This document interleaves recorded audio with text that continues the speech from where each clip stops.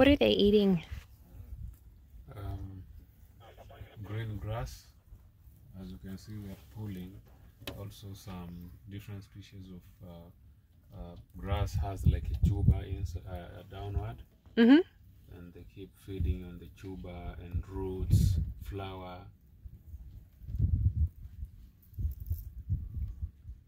And there are two monkeys having sex.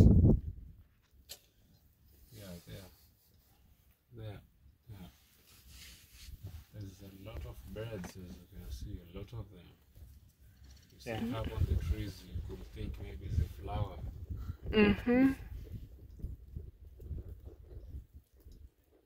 Well, then those are what geese to our right.